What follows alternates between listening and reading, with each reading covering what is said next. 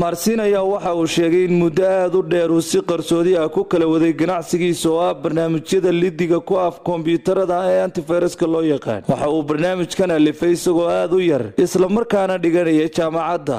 Markii sannadkii labadii kun iyo labiyo tobankii uu ka qalinjabiyey jaamacadda ganacsigiisu waxa uu ahaa mid sumcad wanaagsan leh islamarkaana sameeya macaash lacageed oo aada u badan. Sanadkii oo gaadhaya malaayiin dollar maanta shirkadiisu waxay ku fadhidaa adduun dhan boqol iyo lix iyo labaatan dolar waxaynay leedahay malaayiin macaamiil ah oo adduunka ku kala nool. Sanadkii kun sagaal boqol iyo sideed iyo sagaashankii ayuu ku dhashay dalka poland balse qoyskooda ayaa u soo haajiray maraykanka isagoo saddex jir ah. Waxayna degeen magaalada chicago. Markii uu afar iyo toban jir ahaa waxa uu aada u ciyaari jiray ciyaaraha kombyuutarka ayaa waxaa dhalada ama kombyuutarkiisa ka haleelay fayrus badan. Sidaas ayaanu ku bilaabay inuu barto wax kasta oo ku saabsan fayrasyada iyo sida looga hortegi lahaa shirkadiisa bilaabay labadii kun iyo sideedii isagoo sideed iyo toban jir ah. Xilligaas oo ahayd markii uu jaamacadda bilaabay hooyadiis waxa ay la doonaysay inuu waxbarashada sii wato isna waxa uu doonayay inuu ganacsigiisa uu ka midho dhaliyo. Welwelka ugu weynee hooyadiis haystay ayaa ahaa in ganacsiga uu bilaabay nin soddon jir ah oo magaciisa uu yahay brans kaas oo muddo sannad ah isla dhisayeen barnaamijkani. Waxa uu ahaa toddobiyo toban jir ninkanna waxa uu ahaa shan iyo soddon jir. Haddii aan arrintaasi hooyadii u sheegto ka waran maxay odhanaysaa ayuu yidhi marsin markaas iyada ah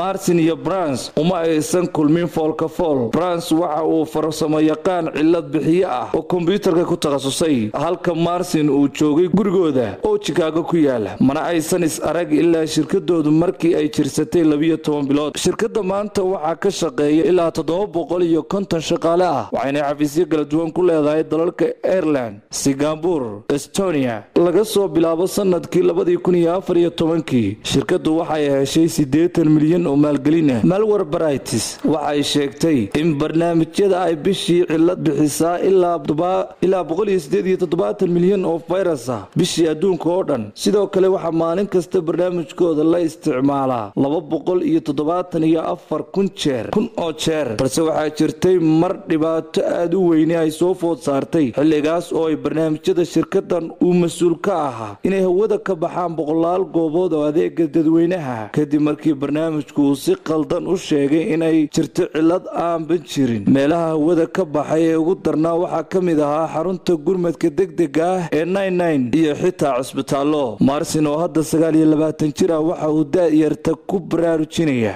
inay iyaguna bilaabaan ganacsigooda u gaarka ah halkii ay ku sugi lahaayeen inay la shaqaalaysiiyo marka ay jaamacadaha dhammeeyaan waxa uu qirayaa in waxbarashadiisii jaamacadda ay aada ugu adkayd marka la barbar dhiga saaxiibadiis maadaama uu isagu waxbarasho iyo shaqo uu isku waday. Axmed daahir nuux nasabka wararka star t v